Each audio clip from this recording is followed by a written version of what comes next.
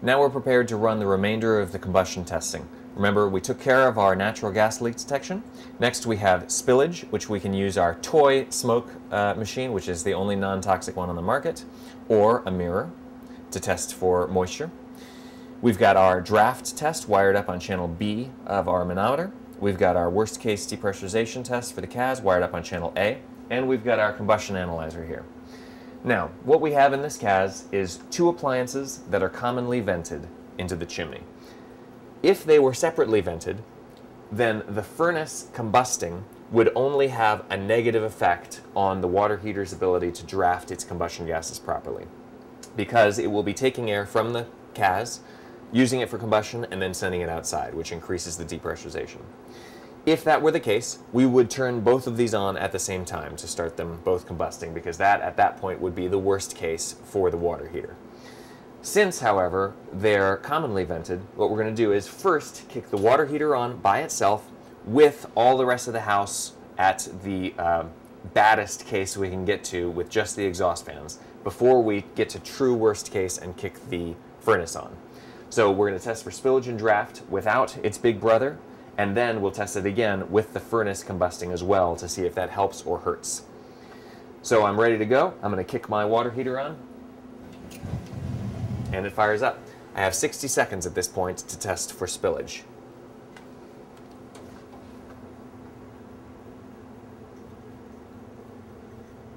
And I'm running a 360 degree pattern around the draft diverter of the water heater to make sure that the smoke is going into the flue and not coming back out of it. And we're at 15 seconds and we've just passed spillage. It's already drafting very well. Now we need to take our draft, which at this point is negative 2.9. Based on the temperature outside, it's 40 degrees outside, I would use my BPI standardized uh, draft limit calculation, which is 40 degrees divided by 40, which is 1 minus negative 2 or minus 2.75, which would give us a draft limit of negative 1.75. We exceed that right now. So now I've passed this without the furnace running. Now I need to kick the furnace on to see if it still passes. All right, the draft inducer is kicked on. In another 30 seconds or so, the burners will fire up, and after that, the blower will kick back on at which point I'm going to retest for spillage and draft on the water heater. And now our furnace is fired. We're ready to test for true worst case again on the water heater and see whether the furnace is helping or hurting. And it's still passing spillage, which is good news. The next test we need to run is the spillage and draft on the next biggest appliance. Now this is an induced draft furnace, which means that there is no possibility for spillage, so we don't need to run that test on this unit. However, the draft we are going to test, and we can see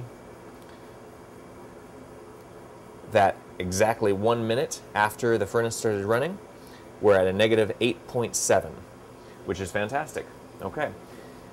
Now we're going to wait for this guy to get up to steady state in order to record the carbon monoxide level inside the combustion gas. We'll know we have reached steady state when the temperature in these gases has stopped rising. So we move our combustion analyzer over to temperature mode, and we can see that it's still going up.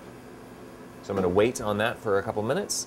And while we're waiting, we are at true worst case right now, so I'm going to go ahead and get my worst case depressurization, which is on channel A is at negative 4.7. Since we know our baseline was negative 3.5, we'll subtract 3.5 from 4.7 and we get a worst case adjusted of negative 1.2. So the effect of all of this exhaust on the house at worst case is negative 1.2. And we compare that with our uh, CAZ depressurization limits from BPI. Now, since we're waiting for this to get to steady state, I'm going to kick back over to